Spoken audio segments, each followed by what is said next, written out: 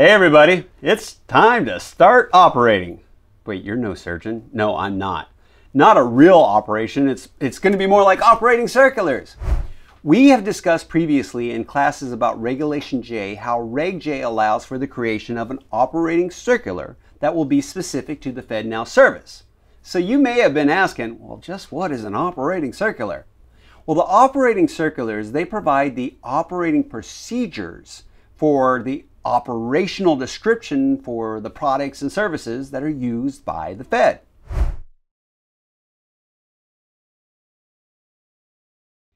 Each product or service that is used by the Fed has its own operating circular.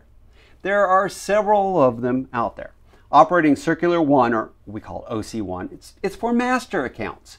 You see, Operating Circular 1 contains the terms for opening, for maintaining, even terminating a master account with the Federal Reserve Bank, as well as the provisions regarding Reserve Bank's services applicable to an institution, whether or not they maintain a Reserve Bank account or a master account. This one will apply to FedNow.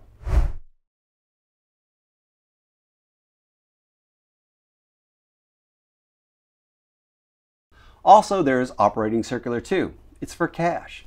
There's Operating Circular 3. It applies to checks. There's Operating Circular 4. It's for ACH.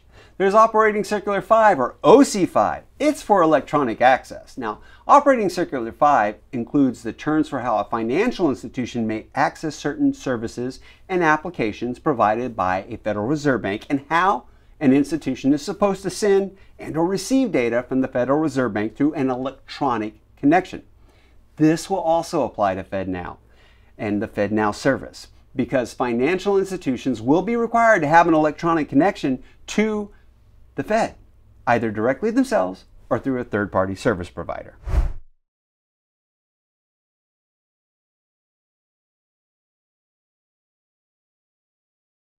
Then we see operating circular 6. This one is for FedWire. Now, Fedwire will be used for liquidity management transfers and having money available in your master account. But other than that, I wouldn't say it applies directly to FedNow service, though it will be used as part of it. We're going to skip Operating Circular 7, and we're going to jump to the most important one regarding the FedNow service, and that is Operating Circular 8.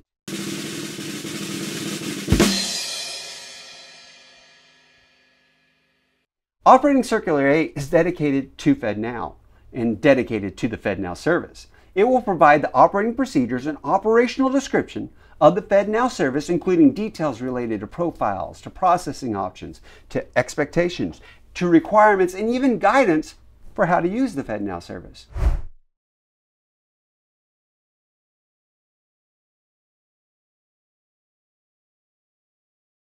When it comes to the FedNow service and the operating circulars, the ones I would say to know that are going to directly apply to the FedNow service are going to be Operating Circular 1 for master accounts, Operating Circular 5 for the electronic access, most importantly, of course, Operating Circular 8 specifically dedicated to the FedNow service.